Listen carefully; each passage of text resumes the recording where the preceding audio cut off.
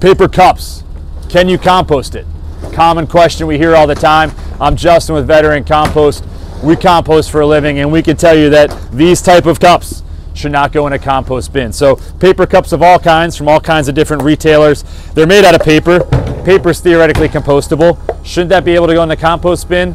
But unfortunately these cups on the inside to keep your beverage from seeping through the outside, they're coated with plastic. And so these cups uh, have a plastic polyethylene liner and they are not compostable because in the compost pile they would break down and leave trillions of pieces of microplastic. Now in many jurisdictions these cups are becoming recyclable. A lot of retailers are working to do so. And if you have a paper cup that says certified compostable, it, that can be composted. But if you have a regular cup like this and it says recycle, then maybe talk to your local recycling office. But unless it says certified compostable, paper cups should not go in your compost bin. If you have any questions about a specific item, put it in the comments below. We'll try to help you out. I'm Justin with Veteran Compost, and I'm telling you, if paper cups don't say certified compostable, don't put them in the compost bin. Thanks.